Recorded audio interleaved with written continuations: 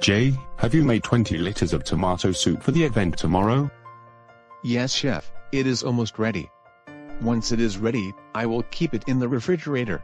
When cooked food is not served immediately, you must keep it in the refrigerator for later use.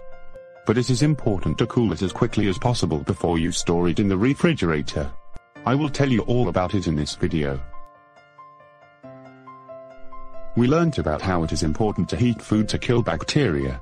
Similarly it is important to cool food properly for future use. Yes, I was planning to keep it in the refrigerator after it is ready. Never keep hot items directly into the fridge. You have to first rapidly cool the items to below 5 degree within 4 hours. To rapidly cool items, divide the food into multiple smaller containers or shallow GN pans. If you cannot transfer it to a tray, you can use an ice water bath as well.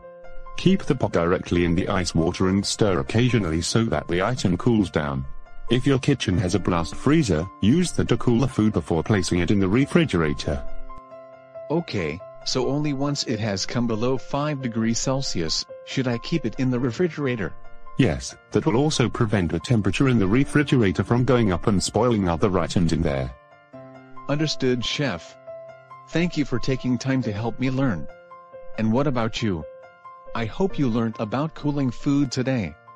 If you have any questions, do ask in the comment box below. Also do check out other videos in the channel that you may find interesting.